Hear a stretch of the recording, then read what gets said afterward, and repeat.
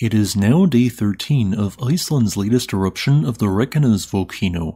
Nearly at the two week mark, we are truly appearing to see the beginning of the end of this unusual eruption. While on March 20th there were 9 active vents erupting lava, this figure decreased to 7 on the 23rd, and today this figure is now only 3 vents.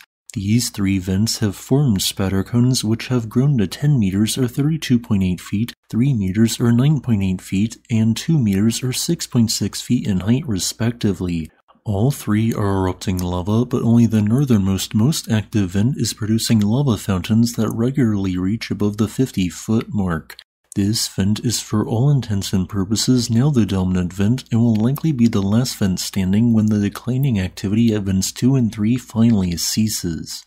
Eruptive activity since the latter half of March 25th has somewhat stabilized but is also producing intermittent decreases and increases in activity. I personally estimate that no more than 9.5 cubic meters per second of molten rock is actively erupting at the present. Despite a slowly dying eruption, molten rock has still continued to flow into new areas including parts of two kipukas.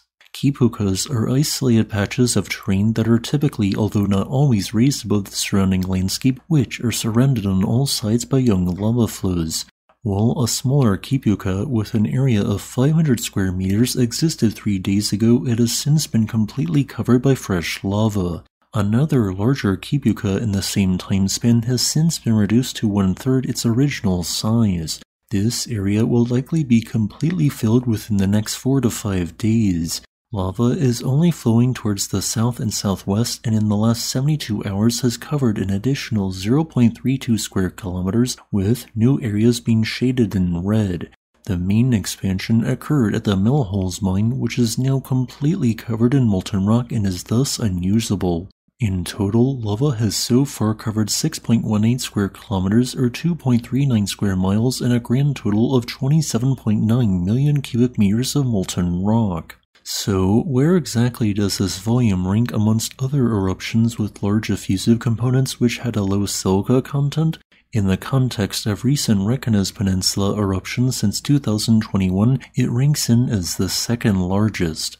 However, if we expand and look at other eruptions in the rest of Iceland, 27.9 million cubic meters is quite small. In fact, this figure is 896 times smaller than the largest effusive eruption to occur in Iceland since the end of the last ice age.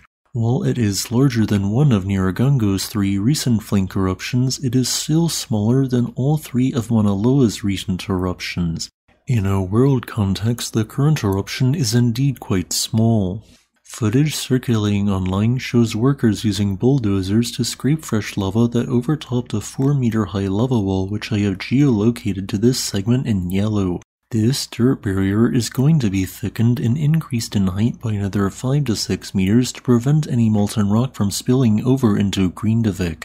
Although lava effusion rates are continuing to decrease alongside volcanic gas emissions, sulfur dioxide has still proven to be an intermittent issue in recent days.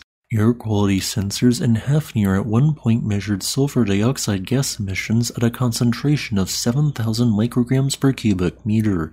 For reference, 2,620.3 micrograms per cubic meter of sulfur dioxide is equal to 1 part per million of sulfur dioxide in the air. Exposure to greater than 2 parts per million of sulfur dioxide is considered unsafe, meaning that outdoor activity had to be halted at Hafnir until the gas emissions eventually dissipated at that village.